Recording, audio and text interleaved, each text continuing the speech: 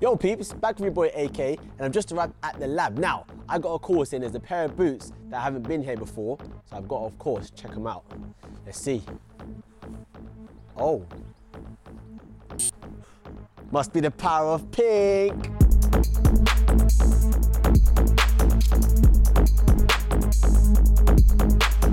We finally managed to get a pair of the Under Armour Spotlight Pro 2.0s in the lab. And before I go with anything else, I want to say this.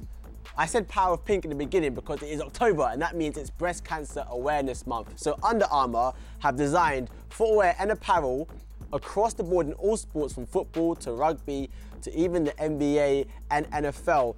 And all their athletes will be wearing pink to signify breast cancer awareness and their support. In the footballing world in particular, you've got Memphis Depay, who will be the champion of the Spotlight Pro in pink, but you also have Trent Alexander-Arnold of Liverpool, Granit Xhaka of Arsenal, and Fraser Forster as well, who'll be rocking the Clutch Fit version, which will also be in pink. Now, there's only 200 pairs of these made, uh, and likewise for the Clutch Fit. But let's move on to the details of the Spotlight Pro in particular. What you're gonna find is that you have a dual lining. So you've got an inner compartment, which is kind of foam based, um, but also provides you a bit of lockdown. And then of course you've got the outer compartment, which is all synthetic.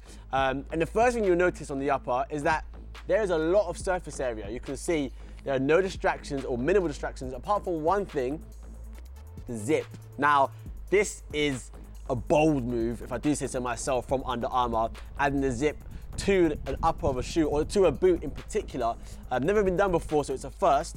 And let me know what you guys think about that actually. Put it in the comments below. Do you think a zip is a good idea to have on a boot, yes or no? In terms of the upper itself, it is relatively padded. Now, again, of course, that's due to the dual lining construction, but it also is due to the thickness of the synthetic that you have.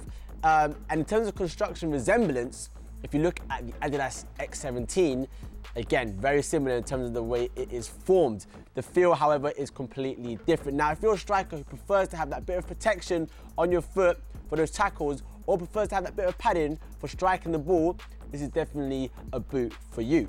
Speaking of similarities, the DNA of the Spotlight Pro 2.0 is that of the Adidas X17, the Nike Mercurial Vapor, and the Umbro Velocita 3 speed. So with that in mind, the chassis is definitely one that contends with those three. Under Armour have opted for a carbon fiber chassis, uh, which means super responsiveness, and of course you've got that bit of stiffness as well, which is required when you're at maximum velocity. Now, in terms of the stud placement, you've got two molded blades towards the edge of the forefoot here, and that means when you are planting to drive off and accelerate, you've got great traction, but you also have two molded studs at the back by the heel counter, and that's great for braking force as you try and lose your marker. So all those strikers and wingers out there that try and nip in and out and get away from their defenders, this is the sole plate for you. The rest, however, are all conical studs, so again, allowing for that great rotation.